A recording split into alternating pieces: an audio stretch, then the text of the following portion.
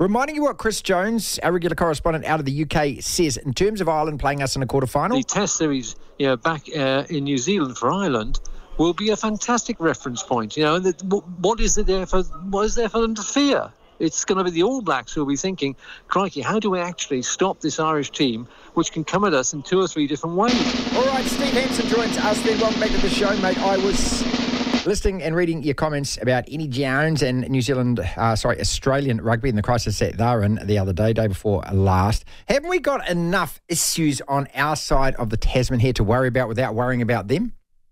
Well, I think there's a few issues going on in Southern Hemisphere rugby that we need to sort, and I know the rugby union are uh, working hard at trying to do that. So it's hopefully we see some progress in that area, and uh, you know, but everyone has to work together.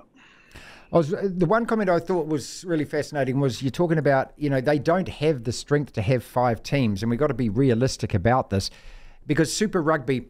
Ken Laban made a comment a couple of weeks ago. He said, we, we, We're swimming in the shallow end at the moment. The competition's not hard enough. And I wondered if you centralise the Australian teams to back to three teams or something, that'll be more competitive. That seems like an obvious idea. Yeah, well, th- minimum of four anyway. So um, sorry, maximum of four, I think, would be uh, make it better. And that's when Australia rugby was really strong. Like they had three sides that were competitive every weekend, in Super Rugby uh, was forcing us to to have to, um, you know, get better ourselves. You know, we are missing having South Africa in, in that there that style of game, and um, maybe bringing back the Argentinians and finding a way to get them back into the competition would be good too. Do you think that Super Rugby can be a competition that is that is good enough to prepare our guys to play Test matches against the likes of South Africa and Ireland, the very best teams? Well, it has been in the past, so there's no reason why it can't be a, again in the future. But you know, I think we'd all agree that at the moment uh, it's not the competition we need it to be, and we have to find a willingness to work together uh, within the country and across the countries to come up with some uh, solutions. When I, and, you know, that's been the, the, the stumbling block so far. When I hear the likes of yourself speak about this, and you speak so calmly about it, and you speak with such authority and experience about it, I always wonder why can't we get these brains around a table together, yourself and who else that needs to be there, and just work our way through this. It seems to me to be a lot simpler than the way uh, than the, the, the the complex matter we tend to make it all the time. Yeah, well, the, look, there's a, one or two things that get in the way. One is our ego of, well, I don't, I don't want to give up a team. Look, we saw Australia try to do that, and the Western Force, you know, dug their toes in, and they had nowhere to go. So at some point, that's what I'm saying. With internally, at some point, we have to say to ourselves, righto, well, this is what's going to be best for our game. And you know, one of the, when you're hearing um, the likes of Hollis, you know, the, the ex Wallaby player coming out and saying the same thing, then you know that it, it's the obvious thing to do. But we have to break down the barriers that are stopping us from doing that. And and within Australian sport, the, probably the biggest barrier is state v state, like that. No one wants to give an inch, and if we're not prepared to give an inch, then we're going to lose a mile at the top end and get. You know, look, I'm not saying Eddie and the players aren't it. There's no fault of theirs in, in this World Cup. You know, they'll reflect on it and say, yes, we could have done some things better. But Australian rugby has a problem because it's not producing players or coaches that can play and coach at that level um, not enough of them to create competition. So they have to do something different and, and they have to be prepared to challenge themselves around that, as do we. We have to look at now that we don't have South Africa playing, how do we how do we find that competition? What are we doing with our under 21s and, and you know how do we get them more games and and start making that team more important because one of the things the Northern Hemisphere have done have they've done really well in developing their under 21 players, and they're winning world uh, cups and, and so forth. They play at Six Nations. like they're mirroring what they're doing at, an, at a higher level. So that's giving young guys a whole lot of experience.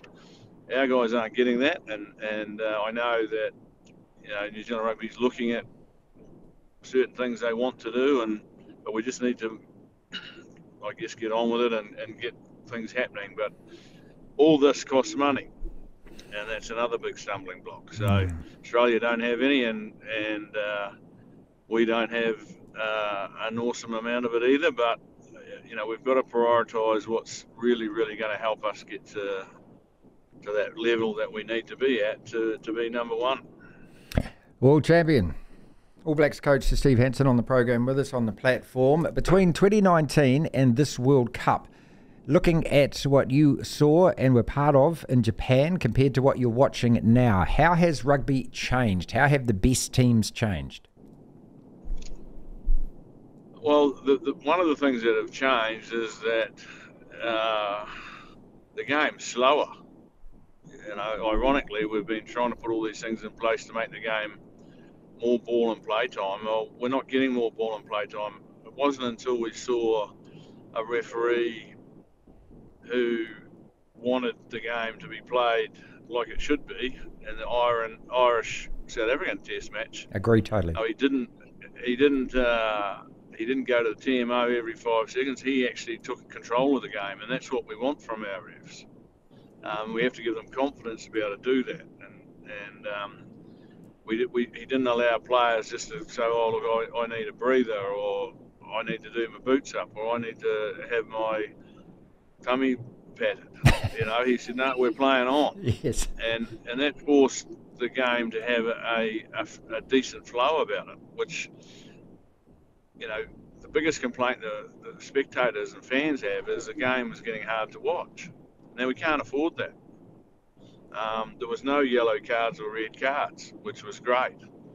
You know, like the red cards, I would, I would uh, be quite confident in saying that since they've been introducing all these red cards, we haven't, we haven't prevented one head, head knock, and that's that's the whole point of it. Like we're trying to get better at making sure we don't get people injured. Well, the red cards aren't stopping that all they're doing is highlighting more and more of them, and uh, most of them are unintentional. So, you know, it's, a, it's an old song we keep singing, but yep. we need to, to be looking at different ways of actually educating our players how to tackle, change a few laws up, um, and then, you know, personally, the TMO, way too much involvement in the game for me. Get to the point where, okay, the only thing he can adjudicate on is is uh, is tries. Is it a try or no try?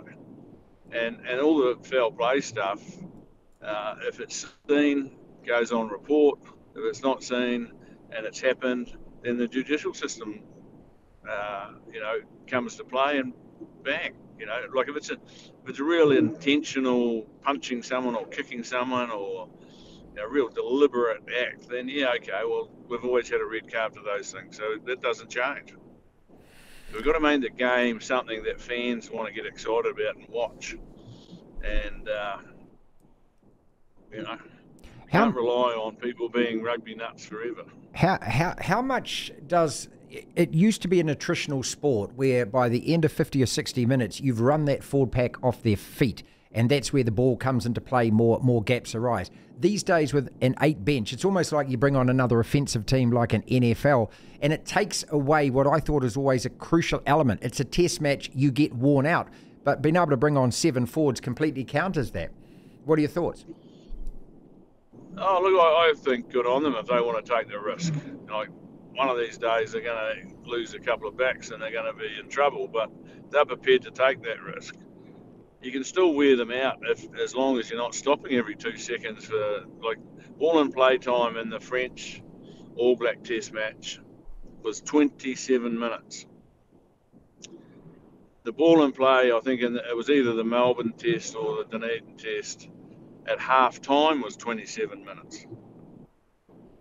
So you know the game's got to be faster than that and uh, no one's going to get worn out if they're allowed to stop every few seconds. Right. Or the average time for a TMO interjection is one minute and 38 seconds. Wow. or thereabouts. You know, that's the average. So there's another break where you get a break. They're stopping every 20 minutes when it's hot now to get a drink of water. They get enough breaks as it is. They don't need to manufacture another one. Mm. And, all, and and in the meantime, all the fans are sitting there. You know, oh well, I may as well go make another cup of tea. How do we, the All Blacks, if we play Ireland in the quarterfinal, that looks really likely. After watching Ireland, South Africa, and just the sheer physical nature of those two forward packs, which I thought was a fantastic Test match, thoroughly absorbing. How do we how do we beat a team like that? Because our forwards don't look at the moment. I mean, this is just my view of it. That they don't look as though that physically we can compete in that kind of headlock contest for 80 minutes. How do we break those teams down?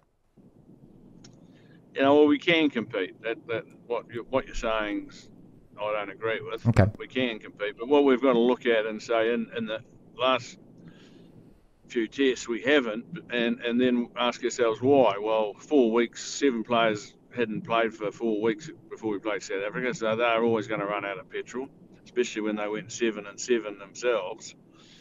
You know, they had a big shift in their forward pack, and um, and then again against France, okay, well they played two games in in six weeks. So it's still it's not enough rugby, but they took that choice because they want to build into this tournament and they're going to get plenty of rugby. So how, how are South Africa and, and the likes of those teams that have had lots of games and tough pools going to be travelling at the back end of the tournament? You know, are they going to start feeling it? Um, that's the first thing. But look, I think if we want to beat uh, Ireland, we have to be able to take them on up front, um, contest that line out time, make our scrum really potent, and and challenge them there. Um, breakdown, I think we need to go through the breakdown. They're not putting anybody in the breakdown themselves. So go through it rather than um, trying to play wide. And then once we start going through it and we narrow them up a bit, then we can go wide. Uh, we have to we have to get to Sexton. Like he he's a phenomenal player, uh, probably the best I've ever seen at making the right decisions on the line, who to give the ball to. I don't think I've seen a player anywhere in the world or any time in the world as good as he is at offloading the ball to the right person um, at the right time, under pressure too, I might add. So we've got to get to him, um, and that means uh, anyone around him we have to tackle. So the South Africans did that, showed us what to do there. Like they just tackled everybody around the ball because he could give it to any one of them. And that put them under a wee bit of pressure. So uh, they're tough. So we have to um, make sure that we're prepared to stay in the fight, stay in the fight, stay in the fight, take the points when they're on offer, and, and keep ticking the scoreboard over and try and put them under pressure from a scoreboard point of view. If we can put scoreboard pressure on them, it's like, oh, here we go again. We're not going to get past the quarterfinal. So that'll that'll put a bit of pressure and maybe distract them away from where they need to be mentally. But uh, they're, they're, a good side. Uh, both them and South Africa are very good sides, but so are we. I think you know the, the four top teams are all capable of winning it. Um, France have had a bit of a knockback with Dupont being injured, but uh, if you have a good day, you have a bit of luck, and there's no yellow or red card, uh, you're in the fight. And um, it's just going to be a shame to see two good sides get put out in the quarterfinals when you know, the draw could have been done as it is in the World Soccer game, you know, six months out, and and you know these, these would have been the semi-finals. We can win this from here still. Yeah, why not? Like, um, we've played South Africa, we've beaten them. We were the last team, I think, in the world to beat Ireland, and I think we're playing a lot better now than we were when we did that. So, uh, yeah, we can beat them. All right.